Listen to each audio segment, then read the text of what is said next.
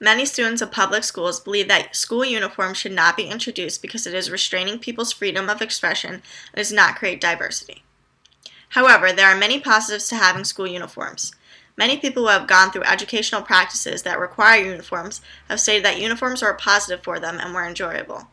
Although a uniform can get boring with the same clothes and same color every day, uniforms have proven to lower hostility in many schools. There is no bullying or biases towards other schoolmates because there is a unifying factor. It is important to acknowledge that public schools tend to have a more widespread student population and there are children of different backgrounds. Some have parents with rather high incomes who can afford to buy fashionable and costly clothes for their kids, but there are those teens who are forced to buy low cut outfits at discount retail stores. So, from this viewpoint, if all students wear identical clothes, no one will be hurt or humiliated by the comparisons. Another positive that students have listed is the easiness of having a set uniform to wear every day. There is no time spent figuring out outfits or accessories the night before school, and there is a sense of comfort knowing you will look presentable and fit into school the next day.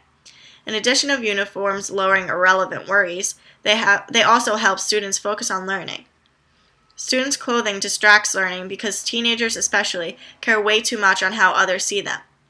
When uniforms are enforced, students are not to be distracted on how they look all the time, which gives them more time to focus on their studies. Without distracting clothes, students start to care about the school more and are definitely more positive thinkers because they do not need to worry about how they look as long as they feel good about themselves. Overall, you can now understand how uniforms help students focus on learning. While children believe that school is trying to control their freedom of speech by enforcing uniforms, a school is not a fashion show.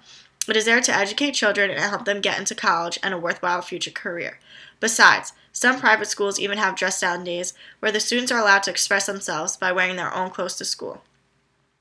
Also, wearing uniforms may be less expensive than having to dress a child in different clothes each day. With the uniform comes a few of the same materials, but it is unnecessary to have an abundance of these clothes. Children want the most fashionable items, and the fashion industry puts out a lot of influential style tips. So, for a parent, this could be very costly. Uniforms correct this idea. If public schools were to decide to make uniforms mandatory, it would be a lot easier on parents, and the school would not have to worry about children dressing inappropriate.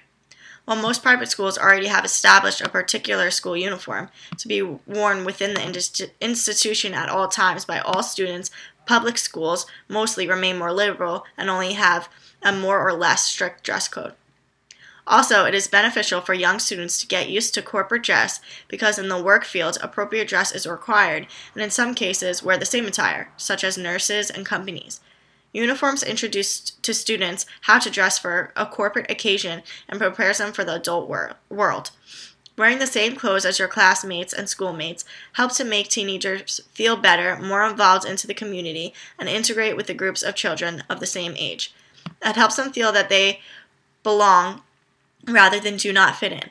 Another benefit of school uniforms is that it teaches children certain discipline and conformity.